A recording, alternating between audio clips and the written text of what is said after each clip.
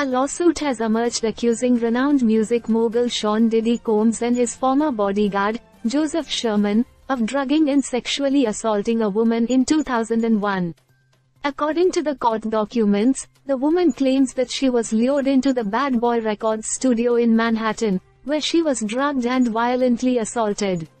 The accusations include horrific details of how she was bound, restrained, and subjected to abuse, with her cries for help going ignored. The assault is said to have been filmed and later shown to others as a means of further humiliating her.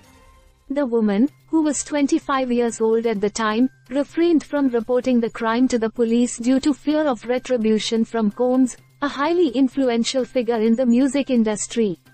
She has since struggled with the emotional aftermath of the assault, including depression, anxiety, and post-traumatic stress disorder, that is PTSD.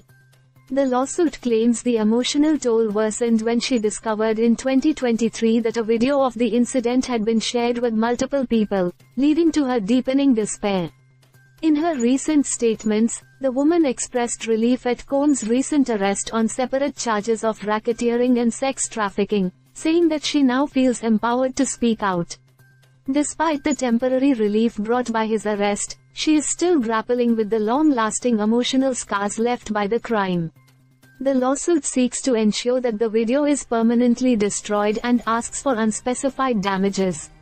This case comes amid a broader wave of legal actions against Combs, who has faced multiple accusations of sexual misconduct in recent years. The lawsuit also implicates his record companies, accusing them of facilitating the abuse. For the woman, the case represents a long-awaited opportunity for justice after more than two decades of suffering in silence.